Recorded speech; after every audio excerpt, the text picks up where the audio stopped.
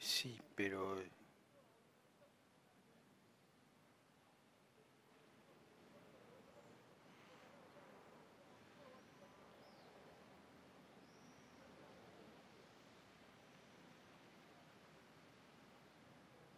Laudetur Jesus Christus, loué soit Jésus-Christ. C'est Radio Vatican, Vatican News, qui vous retransmet en direct depuis la bibliothèque du Palais Apostolique l'audience générale du Saint-Père. Disponiamoci ad accogliere la sua parola e a ricevere la sua benedizione. nel nome del Padre, del Figlio e dello Spirito Santo. Au nom du Père et du Fils et du Saint-Esprit, la paix soit avec vous. Voilà, c'est le début de l'audience générale du pape et on va commencer comme d'habitude avec delle la lecture de la e le parole de Dieu. Et aujourd'hui, c'est le psaume il figlio dell'uomo, huit perché te ne curi. du quatrième, O Signore, quatrième et cinquième verset et puis dixième verset que nous allons écouter en diverses langues. Maintenant c'est en italien et tout de suite en français.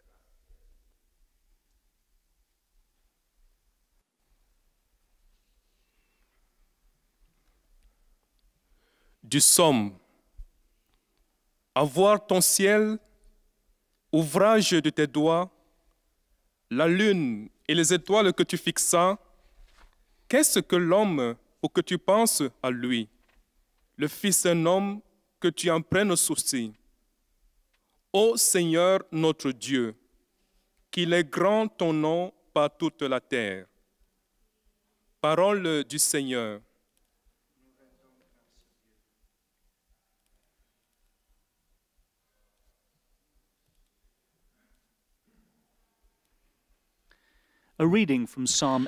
Voilà, vous allez continuer à suivre les lectures en diverses langues. Maintenant, c'est en anglais. C'est le Père Jean-Pierre Boudjoko qui vous tient compagnie et nous saluons les fidèles qui nous suivent à travers les médias partenaires, notamment Radio Notre-Dame, IWTN TV, Radio Espérance, Radio et Télévision catholique Erika en, à Kinshasa, en République démocratique du Congo, mais aussi Radio Maria en République démocratique euh, du Congo. La catéchèse du pape aujourd'hui depuis la bibliothèque du palais apostolique. C'est la série de lectures que vous avez déjà seine aussi en français. Herr, On lit der aujourd'hui le psaume Wie 8, gewaltig ist dein quatrième et cinquième verset, mais aussi dixième verset. Je vous rappelle que le mercredi passé, le pape avait tenu son audience. Il avait alors continué à parler de la prière, puisque c'est la série de catéchèses sur la prière ces jours-ci. À cette occasion, le pape avait dit que la prière appartenait à tous, aux hommes de toutes te religions et probablement aussi à ceux qui n'en professent aucune. La prière naît dans le secret de nous-mêmes, dans ces lieux intérieurs que les auteurs spirituels appellent souvent le cœur. C'est ce que c'est notamment quelques paroles du pape de l'audience de la semaine passée. Probablement qu'aujourd'hui, il va aussi continuer sa catéchèse sur la prière. perguntamos: Senhor, que é o homem, para dele assim vos lembrardes e o tratardes com tanto carinho? Ó Senhor, nosso Deus, como é grande, vosso nome por todo o universo. Palavra do Senhor. La prière avait dit le pape euh, mercredi passé est un élan qui évoque la nostalgie d'une rencontre et une dynamique des liens entre le moi et le tu. Cette euh, dilatation du cœur que le chrétien vit quand il prie ouvre donc à une relation et non pas à un repli sur soi. Dieu a voulu entrer en relation avec chacun de nous, avait dit le pape, et le christianisme est la religion qui célèbre continuellement la manifestation de Dieu, c'est-à-dire son épiphanie. Les premières fêtes de l'année liturgique sont la célébration de ce que Dieu, qui ne reste pas caché, mais qui offre son amitié aux hommes à travers l'inscription de Jésus dans l'histoire humaine. Pendant que nous continuons encore à suivre les lectures introductives de cette catéchèse en diverses langues et maintenant c'est en polonais. Oto Słowo Boże.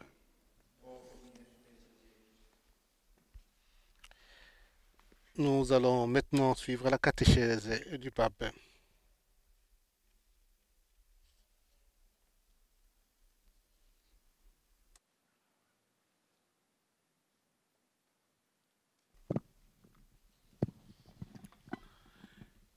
Cari fratelli e sorelle, buongiorno. Chers frères et sœurs, bonjour. Nous poursuivons la catéchèse sur la prière, semplice sur le mystère de la création. La vie, le simple fait que nous existons, ouvre le cœur de l'homme à la prière. La première page de la Bible ressemble à un grand hymne d'action de grâce. L'histoire de la création est rythmée par des refrains e où la bonté et la beauté de tout ce qui existe est sans cesse réaffirmée. Dieu, par sa parole, appelle, appelle à la vie et tout accède à l'existence. Avec la parole, il sépare la lumière de l'obscurité, alterne le jour et la nuit, alterne les saisons, ouvre une palette de couleurs avec la variété des plantes et des animaux dans cette forêt débordante qui vint rapidement le chaos. L'homme apparaît en dernier. Et cette apparition provoque un excès d'exultation qui amplifie e la satisfaction et la joie. e Dieu vit tout ce qu'il "Era avait fait. C'était très bon. Une bonne chose della bellezza di tutto il creato. et belle de toute la création. La bellezza e il mistero della creazione generano. La beauté et le mystère de la création génèrent dans le cœur de l'homme la le premier mouvement qui suscite la prière. Così recita il Salmo 80. Voici ce que dit le psaume Abbiamo sentito 8 all'inizio. que nous avons à peine entendu. À voir ton ciel, l'ouvrage de tes doigts, la lune et les étoiles que tu fixas. Qu'est-ce que l'homme pour que tu penses à lui, le fils d'un homme que tu en prennes souci? Le priant contemple le mystère de l'existence autour de lui, voit le ciel étoilé au-dessus e et que L'astrophysique nous montre aujourd'hui dans toute son si immensité. quale se demande quel décès d'amour doit être derrière une œuvre si puissante. Et dans cette immensité sans limite, qu'est-ce que l'homme? Presque rien, dit un autre psaume. Un être qui naît, un- une créature très fragile. Pourtant, dans tout l'univers, l'être humain est la seule créature consciente d'une telle profusion de- de beauté. Être domani petit et naître, mais c'est l'unique qui est conscient de la beauté de la La création. prière de l'homme est étroitement liée au sentiment d'étonnement. La taille de l'homme est infinitésimale par rapport à la taille de l'univers. Ses plus grandes réalisations semblent très peu. Cependant, l'homme n'est pas un rien. Dans la prière, un sentiment de miséricorde est affirmé. Rien n'existe par hasard. Le secret de l'univers réside dans un regard bienveillant que quelqu'un rencontre à nos yeux. Le psaume affirme que nous sommes faits un peu moins qu'un di Dieu. Nous sommes couronnés de gloire et d'honneur. La relation avec Dieu et la grandeur de l'homme, c'est son Per Par nature, nous ne sommes presque rien, mais par vocation, nous sommes les enfants du grand roi. Nous sommes les enfants du grand roi. C'est une expérience que beaucoup d'entre nous ont vécu. vicenda della vita con tutte le sue amarezze Si l'histoire de la vie avec toute son amertume risque parfois d'étouffer en nous les dons de la prière, la contemplation d'un ciel étoilé, d'un coucher de soleil et d'une fleur suffit à raviver l'intercelle d'action de grâce. Cette expérience est peut-être la base de la première page de la Bible. Quando viene arredato il grande racconto biblico della creazione, Lorsque le grand récit biblique de la création est rédigé, le peuple d'Israël n'a pas de jour heureux. Une puissance ennemie avait occupé la terre. Beaucoup avaient été déportés et maintenant ils sont esclaves en Mésopotamie. Il n'y avait plus de patrie, ni temple, ni vie sociale et religieuse. Rien. Eppure, proprio partendo dal grande racconto della Pourtant, à partir de la grande histoire de la création, quelqu'un commence à trouver des raisons de remercier, de louer Dieu pour son existence. La prière est la, première force d'espérance. parce que les hommes de prière gardent e les la vérités fondamentales pour aller de l'avant. La alla Je dirais que la prière ouvre la porte. Il y a l'espérance. Mais avec ma prière, j'ouvre la porte. Puisque les hommes de prière gardent les vérités fondamentales. Ce sont eux qui répètent d'abord à eux-mêmes et puis à tous les autres. que cette vie, malgré toutes ces fatigues et suoi épreuves, malgré ces jours difficiles, est pleine d'une grâce à admirer. Et En tant que telle, elle doit toujours être défendue et protégée. Les hommes et les femmes qui prient savent que l'espérance est plus forte que le découragement, potente della que l'amour est plus puissant que la mort. et qui triomphera certainement un jour, même dans des moments et des manières que nous ne connaissons pas.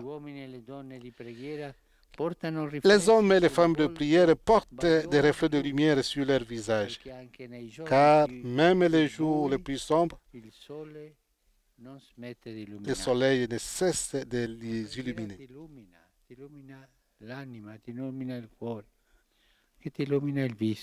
La prière tempi illumine bui, le visage, le cœur.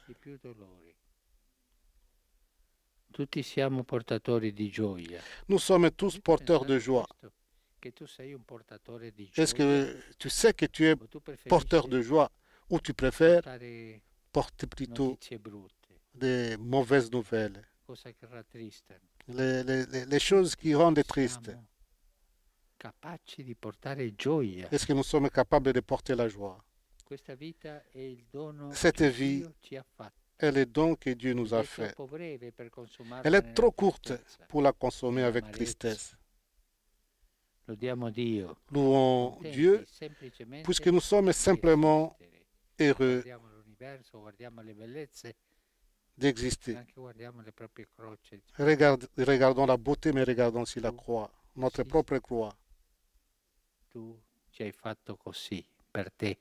Nous, Seigneur, qui nous a fait ainsi pour toi. e. Et il faut que notre cœur puisse louer Dieu. Nous sommes les fils du grand roi, créateur, firma capables de lire sa signature dans toute la création. eh. La Dio. Il y a la signature de Dieu toujours dans notre vie et son amour. Faccia capire sempre Que le Seigneur profondamente questo nous aide à comprendre cela e ci porti a dire grazie. et nous amène à dire merci. Grazie è una bella preghiera. Merci, c'est déjà une grande prière.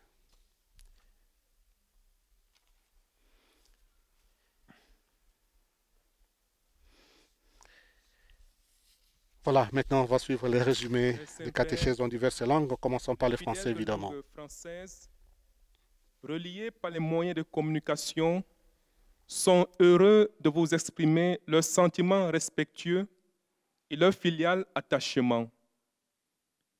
Ils vous assurent de leur prière pour votre personne et pour votre ministère de successeur de Pierre. À la fin, nous réciterons le Notre Père en latin. Puis, le Saint-Père donnera la bénédiction apostolique. Il la donne spécialement aux enfants, aux personnes âgées, aux malades et aux personnes qui sont dans l'épreuve. Voici le résumé en français de la catéchèse que vient de prononcer Sa Sainteté le pape François. Frères et sœurs, poursuivant notre catéchèse sur la prière, nous méditons aujourd'hui sur le mystère de la création. La vie, le simple fait d'exister, ouvre le cœur de l'homme à la prière. La première page de la Bible ressemble à un grand hymne d'action de grâce où le récit de la création célèbre la bonté et la beauté de tout ce qui existe. Au sommet de la création se trouve l'homme, motif de satisfaction et de joie. La beauté et le mystère de la création génèrent dans son cœur le premier élan qui suscite la prière. Bien qu'étant très fragile, l'être humain l'unique créature consciente de tant de beauté dans l'univers. C'est pourquoi la prière de l'homme est étroitement liée au sentiment d'émerveillement. La prière est donc la première force de l'espérance.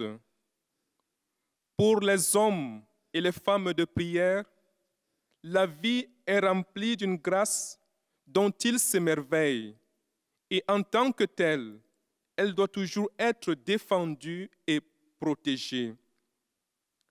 Les hommes et les femmes qui prient savent que l'espérance est plus forte que le découragement, que l'amour est plus puissant que la mort et que sur leur visage se reflète un éclat de lumière.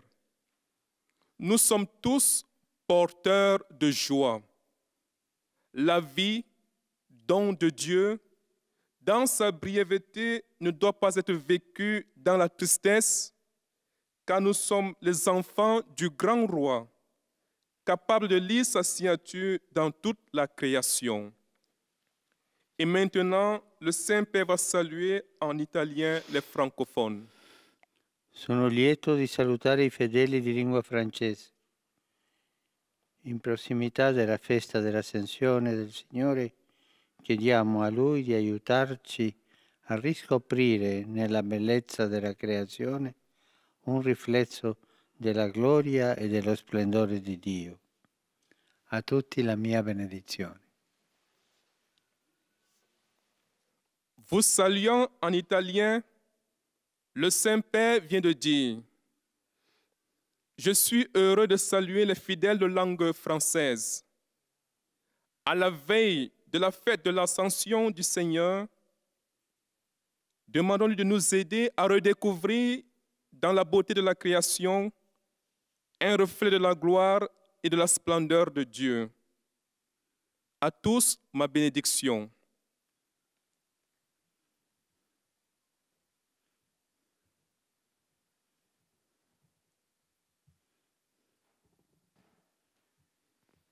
Most Holy Father, the English speaking faithful Maintenant, c'est le résumé de la catéchèse en anglais pour les fidèles de langue française. and to assure you of their prayers for your ministry as the successor of Peter. At the end of the audience, we will recite together the Our Father in Latin. The Holy Father will then impart his apostolic blessing, which he willingly extends to all children and young people, the elderly and the sick. The following is a summary of the Holy Father's words this morning. Dear brothers and sisters, in our continuing catechesis on prayer, we now consider the mystery of creation. The first pages of the Bible resemble a great hymn of thanksgiving for the goodness and beauty of creation, whose grandeur awakens a sense of wonder within the human heart and a desire to pray. The awe inspiring immensity of creation stirs us to contemplate the mystery of our own being. Though we may experience the weight of our insignificance, we are not nothing.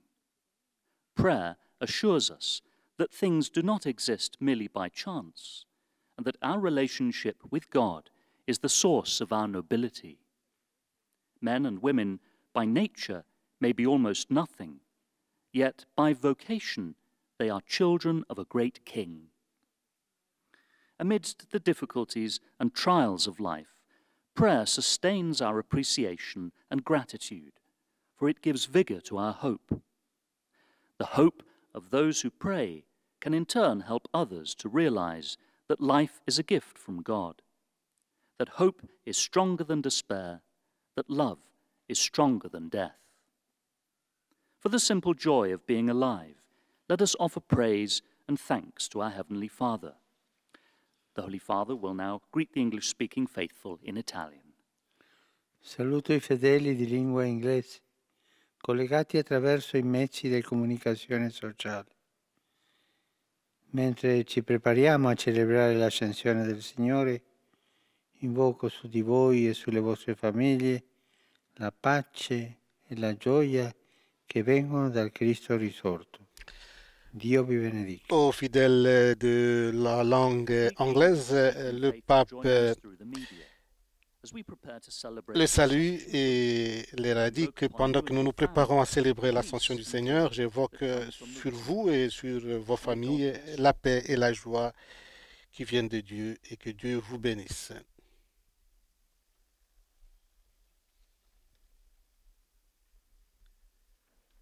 Heiliger Vater, die Gläubigen deutscher Sprache, die über Rundfunk und Internet Le résumé de la catéchèse du pape en allemand. des heiligen Petrus aufrichtige Verbundenheit, Dankbarkeit und Verehrung. Sie versichern sie zugleich ihres besonderen Gebetsgedenkens für ihren apostolischen Dienst als Hirte der universalen Kirche. Zum Schluss dieser Übertragung beten wir gemeinsam das Vaterunser in lateinischer Sprache. Danach wird der Heilige Vater allen den apostolischen Segen erteilen. Gern schließt er darin ihre Angehörigen ein, besonders die Kranken, die Kinder und die älteren Menschen. Es folgt nun eine Zusammenfassung der Katechese des Heiligen Vaters in deutscher Sprache. Liebe Brüder und Schwestern, unsere heutige Katechese über das Gebet beginnen wir mit einem Blick auf das Geheimnis der Schöpfung. Die einfache Tatsache, dass wir existieren, sowie die Schönheit und Güte alles Seienden, öffnen das Herz des Menschen für Gott und regen ihn an zum Gebet. Der biblische Schöpfungsbericht gleicht einem großen Dankhymnus und Lobpreis auf den Schöpfer. Auch in den Psalmen und vielen anderen Stellen der Heiligen Schrift wird deutlich, wie das Staunen des Menschen über die Großartigkeit des Geschaffenen und die unergründliche Allmacht und Liebe des Schöpfers zum Gebet wird. Zugleich wird sich der Beter der eigenen Kleinheit und Bedeutungslosigkeit im großen Ganzen des Kosmos bewusst. Und noch mehr staunt der Mensch über den Wert und die Würde, die ihm dadurch zuteil wird, dass sein Schöpfer ihn so liebevoll bedacht hat. Die Größe des Menschen kommt von Gott. Wenn wir einmal verzagt sind und uns das Beten schwerfällt, dann kann das Betrachten etwa des weiten Sternenhimmels oder einer kleinen Blume in uns Dankbarkeit wecken und Hoffnung für die Zukunft schenken. Das Gebet gibt der Hoffnung Kraft. Wer betet, erkennt, dass dieses Leben trotz aller Mühen und Prüfungen von Gottes Gnade erfüllt ist. Saluto cordialmente i fedeli di lingua tedesca. Contemplando la meraviglia della creazione, riconosciamo la grandezza del Creatore e il suo amore infinito con cui Egli guarda tutte le cose create. La gioia per la natura e la lode di Dio ci aiutino a trovare la pienezza e la pace interiore. Aux fidèles de la langue allemande, le pape a dit que contemplant la merveille de la création, reconnaissons la grandeur du Créateur et son amour infini avec lequel il regardait toutes les choses créées, la joie pour la nature, la louange de Dieu nous aide à trouver la plénitude et la paix intérieure. Santo Padre, los fieles de lengua española que siguen esta catequesis a través de los medios de comunicación Maintenant, c'est la synthèse de la catéchèse du pape en espagnol. por sus intenciones de pastor de toda la iglesia. Al final de este encuentro se recitará el Padre Nuestro en latín. Después, el Santo Padre impartirá la bendición apostólica de modo particular a los niños y a los ancianos, a los enfermos y a cuantos sufren. Queridos hermanos y hermanas, meditamos hoy sobre el misterio de la creación que nos lleva a la oración y a la contemplación de Dios. El Salmo 8 que hemos escuchado expresa la grandeza y la belleza de esta creación frente a la cual el ser humano percibe su pequeñez, pero también el lugar especial que en ella ocupa.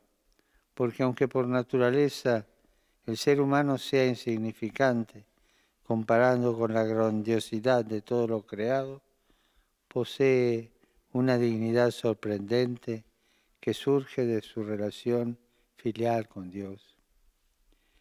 El relato de la creación habla de la bondad y la hermosura de todo lo que el Señor hizo con el poder de su palabra.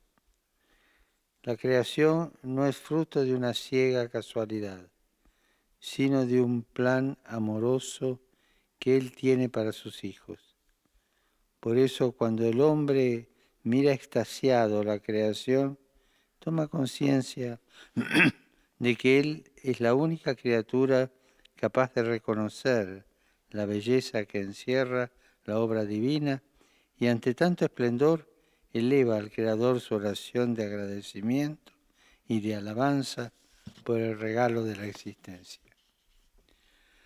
Cuando las tristezas y las amarguras de la vida tratan de sofocar nuestra gratitud y alabanza a Dios, la contemplación de las maravillas de su creación enciende de nuevo en el corazón el don de la oración, que es la fuerza principal de la esperanza.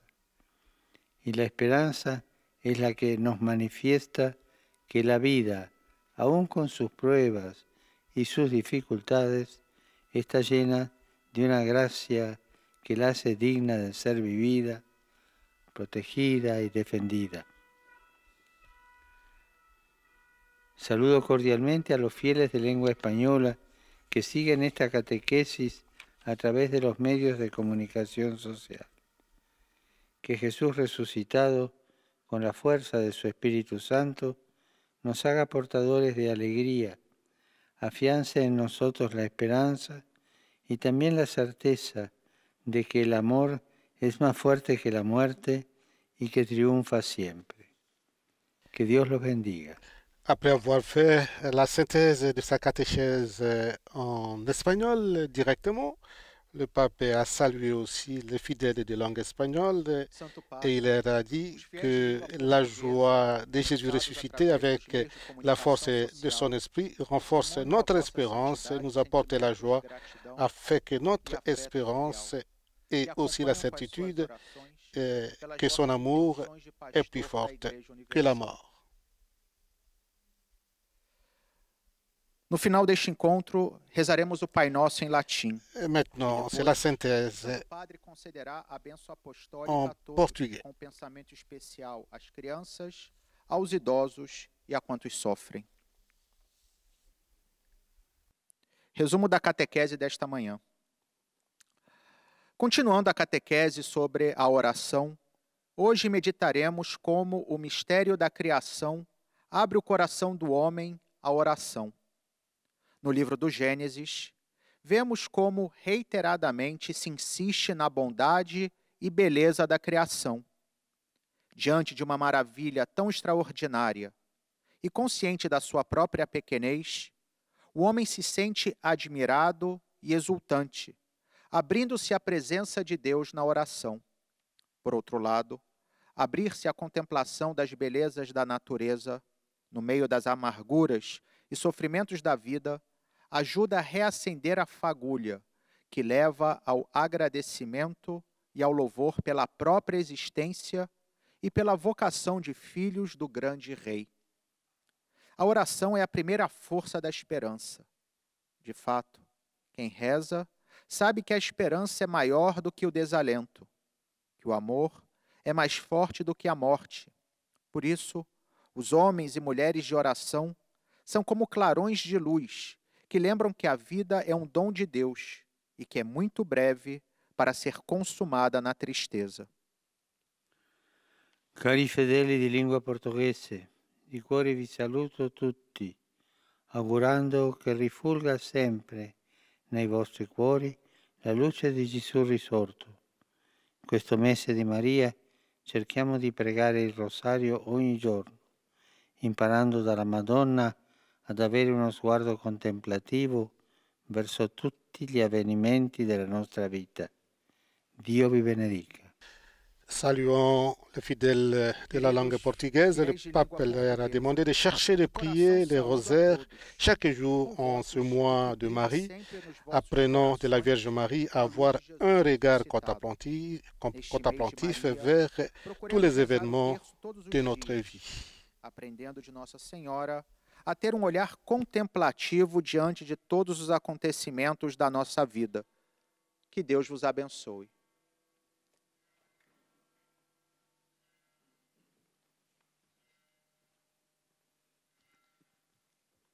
أيها الأب الأقدس يسر المؤمنون الناطقون باللغة العربية الذين يتابعوننا عبر وسائل التواصل الاجتماعي تعبير لكم C'est la catéchèse du pape en arabe. إنهم يؤكدون صلاتهم لقداستكم ولشخصكم ولخدمتكم كخليفة القديس بطرس. في نهاية هذه المقابلة سنتلو صلاة الأبانة باللغة اللاتينية ثم سيمنح قداسة البابا البركة الرسولية وخاصة للأطفال والمسنين والمرضى والمتألمين إليكم ملخص التعليم المسيحي لقداسة البابا فرانسيس. تأمل قداسة البابا اليوم في سر الخلق في إطار تعاليمه في موضوع الصلاة. قال قداسته إن المصلي يتأمل في سر الخلق من حوله ويتساءل أي تدبير حب أوجد هذا الكون العجيب. وما هو الإنسان؟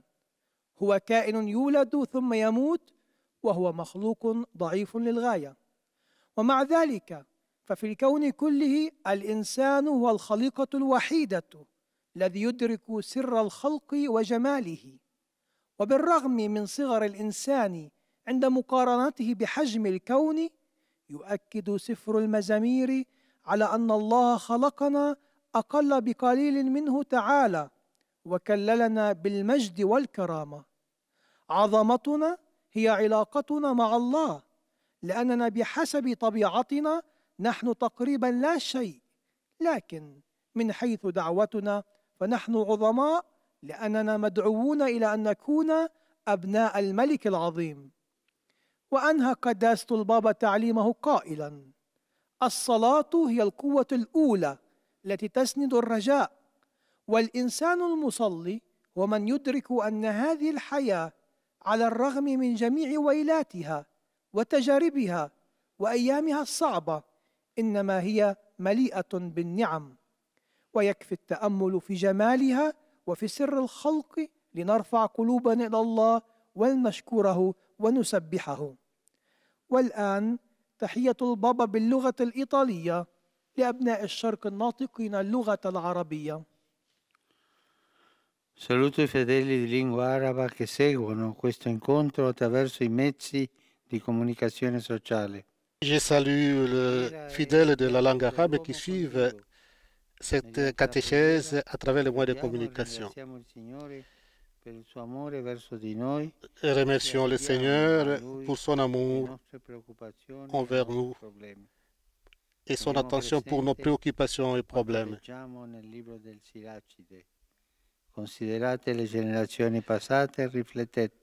Considérez les générations passées et réfléchissez.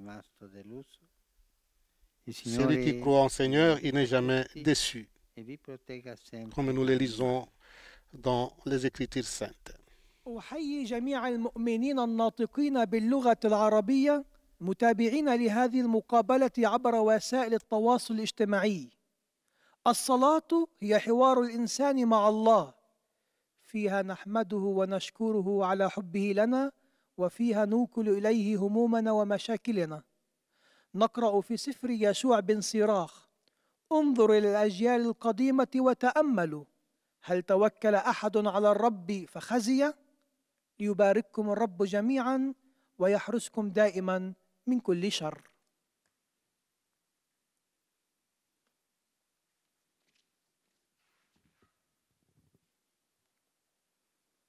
Ojcze Święty, wierni w Polsce i w innych krajach, łącząc się za pośrednictwem C'est le résumé de la catéchèse du pape en polonais ou pour les fidèles de la langue polonaise. oraz zapewnić o swej gorącej modlitwie we wszystkich intencjach związanych z apostolską posługą następcy Piotra. Na zakończenie odmówimy wspólnie modlitwę Ojcze nasz po łacinie. Po jej zakończeniu Ojciec Święty udzieli wszystkim apostolskiego błogosławieństwa, obejmując nim szczególnie dzieci, osoby w podeszłym wieku i dotknięte cierpieniem. Streszczenie katechezy Ojca Świętego. Drodzy bracia i siostry, kontynuujemy nasze katechezy o modlitwie, rozważając tajemnicę stworzenia. Życie człowieka, sam fakt, że istniejemy, otwiera ludzkie serca na modlitwę. Pierwsze strony Biblii przedstawiają Boga, który stwarza cały wszechświat, wieńcząc to dzieło powołaniem do życia człowieka. Piękno i tajemnica stworzenia rodzą w ludzkim sercu chęć do modlitwy. Modląc się, człowiek podziwia wokół siebie tajemnicę istnienia. Zastanawia się, jaki plan miłości kryje się za tak zadziwiającym dziełem. W tym bezgranicznym ogromie rzeczywistości pyta się, czymże jest człowiek. Jest on nieskończenie mały w porównaniu z wymiarami wszechświata, ale nie jest niczym. W modlitwie odkrywamy, że wielkością człowieka jest jego relacja z Bogiem. Z natury wydaje się, że jesteśmy prawie niczym, ale na mocy powołania jesteśmy dziećmi wielkiego króla. Jeśli niekiedy wydarzenia naszego życia z całą ich goryczą grożą przytłumieniem w nas daru modlitwy, to wychodząc od wspaniałego opisu stworzenia, próbujmy odnaleźć motywy do dziękczynienia i do chwalenia Boga za istnienie. Modlitwa jest pierwszą siłą nadziei. Kto się modli, zapewne doświadczy, że nadzieja jest silniejsza od zniechęcenia, a miłość jest potężniejsza od śmierci. Nasze życie jest darem Pana Boga, ale jest zbyt krótkie, by je przeżywać w smutku. Chwalmy więc Pana Boga, dziękując Mu za dar życia, szczęście i dzieło stworzenia. Obecnie Ojciec Święty pozdrowi wszystkich Polaków w języku włoskim. Saluto cordialmente tutti i polacchi. In questi giorni celebriamo il centenario della nascita di San Giovanni Paolo II. Je salue cordialement tous les Polonais et ce jour-ci, nous célébrons le centenaire de la naissance de Saint Jean-Paul II, pasteur de grande foi, et il aimait confier à Dieu dans la prière l'Église et toute l'humanité. Et quand il a choisi sa devise, Totus tous, il a montré que dans des moments difficiles, nous devons nous fier à la Mère de Dieu pour qu'elle puisse nous aider et intercéder pour nous. Sa vie a été édifiée dans la prière profonde, intense et de confiance. W tych dniach obchodzimy setną rocznicę urodzin świętego Jana Pawła II. On, pasterz wielkiej wiary, lubił w modlitwie powierzać Panu Bogu Kościół i całą ludzkość. Wybierając zawołanie biskupie totus tuus, pokazał również, że w trudnych chwilach powinniśmy zwracać się do Matki Bożej, która może nam pomóc i wstawić się za nami. Niech Jego życie, zbudowane na głębokiej, intensywnej i ufnej modlitwie, będzie przykładem dla dzisiejszych chrześcijan. Z serca Wam błogosławię.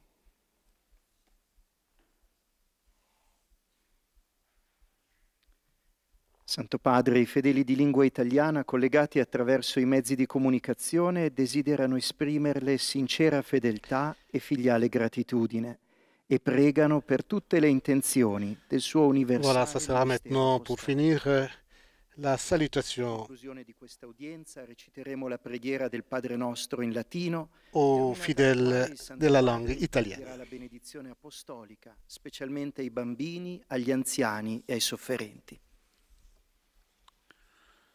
Lingua. Je salue les fidèles de la langue italienne. La fête euh, de l'Ascension du Seigneur, euh, qui est tout est proche, m'offre l'occasion pour exhorter tous à être des témoins généreux du Christ ressuscité,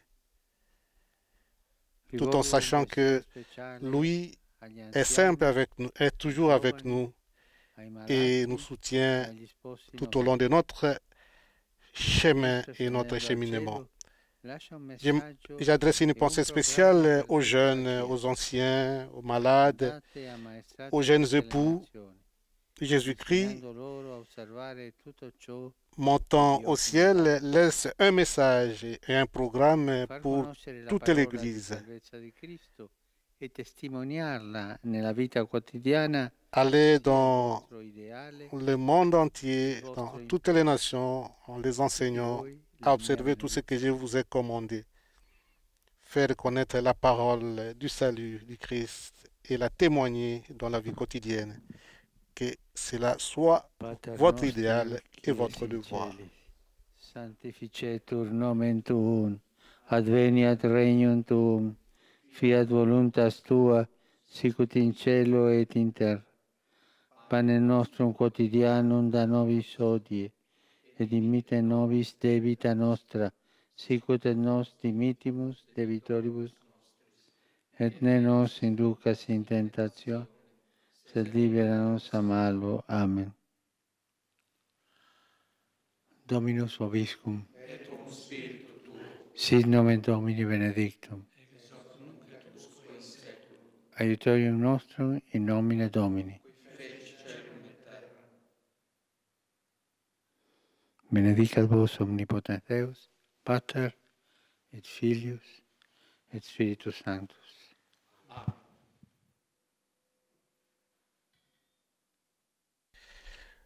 Vous venez de suivre là en direct de la bibliothèque du Palais apostolique l'audience générale du pape consacrée aujourd'hui à- au mystère de la création catéchèse, donc sur la prière où le pape a dit que les hommes et les femmes qui prient savent que l'espérance est plus forte que le découragement. Il croit que l'amour est plus puissant que la mort et qui triomphera certainement un jour. Et nous remercions tous les fidèles qui nous ont suivis à travers le monde, spécialement ceux qui nous ont suivis à travers les radios partenaires, Radio Notre-Dame, IWTN TV, Radio Espérance, Radio et Télévision catholique est en République démocratique du Congo, spécialement à Kinshasa, mais aussi Radio Maria en République démocratique du Congo. Le Père Jean-Pierre Bojoko vous a tenu compagnie et nous vous remercions d'être toujours fidèles à nos programmes. Nous nous retrouvons très prochainement. Laudetur Jesus Christus, loué soit Jésus-Christ.